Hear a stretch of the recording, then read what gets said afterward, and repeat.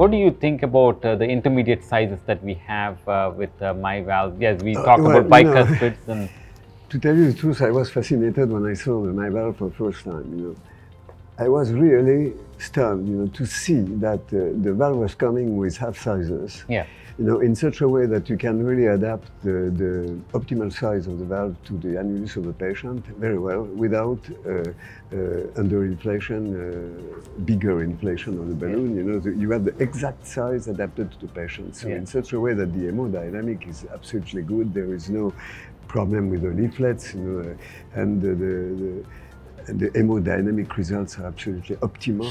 Advantage of adapting the, the valve size to the annulus is that you, you may have a, this may have a consequence on, on the, the future, you know, with uh, decreasing the structural valve dysfunction, you know, uh, avoiding any overlap of the leaflets or, you know, any problem of size.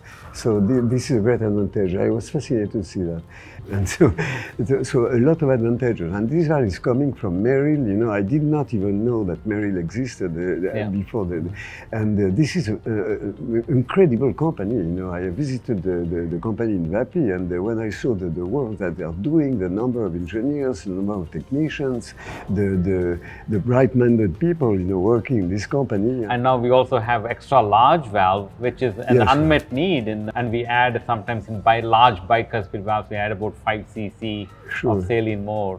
Whereas Yes, you, you can reach uh, 35, 36 millimeter of size. You know, Right. with uh, uh, it's uh, it's really uh, a very big advantage. You know? Right. So uh, many characteristics, you know, that I could not even imagine. You know, coming from India, that, that that's great, And, uh, absolutely great. an octacore ele- uh, Ah, the commissural alignment. octacore, you know, you, when I saw the octacore, you know, it, it, it's not a valve; it's a it's a piece of jewelry. You know, you you, you have this valve with the long skirt, and the, the, the it's fascinating to me. You know, the octagonal shape and two rows of octo, octagonal shape. You know, they, they had to think about it. You know, because with this, uh, you reduce the foreshortening of the valve when you uh, when you implant the valve.